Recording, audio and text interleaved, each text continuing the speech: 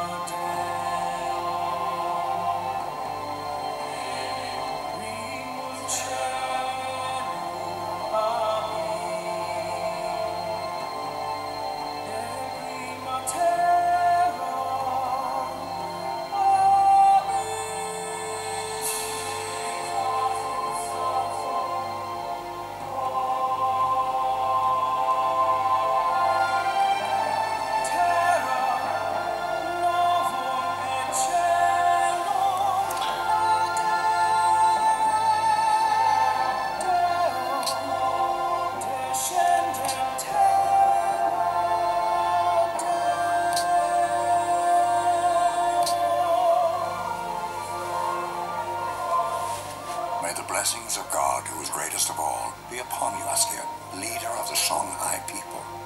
For many years your kingdom was a vassal of the mighty West African state of Mali until the middle of the 14th century when King Sunni Ali Ber wrested independence from the Mali, conquering much territory and fighting off numerous foes who sought to destroy him. Ultimately, his conquest of the wealthy cities of Timbuktu and Jenne gave the growing Songhai Empire the economic power to survive for some 100 years until the empire was destroyed by foes with advanced technology, muskets against